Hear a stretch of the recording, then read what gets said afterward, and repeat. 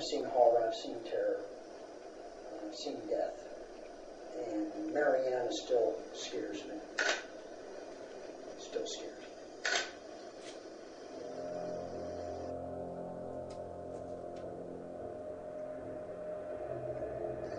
Every single day we lived under the terror, the brutal dictatorship, the torturing, the physical, mental, some boys sexually abused.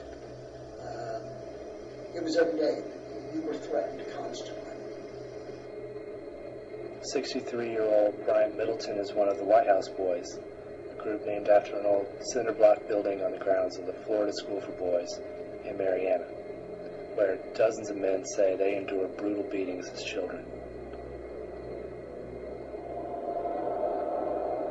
I remember they, they hit me, and it was six. It was the 16th lick, and I said 16.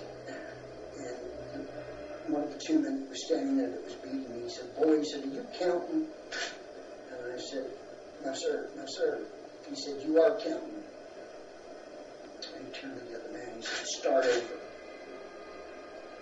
So, uh, to me, I'm I'm going to be 64 in April.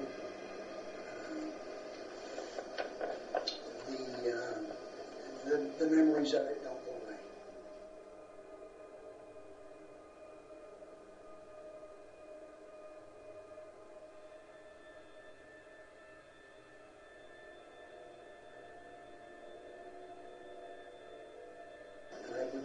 God in my heart and hope that uh, not another child under the care of anybody in the state of Florida or anywhere else for that matter will ever, ever, ever be brutalized.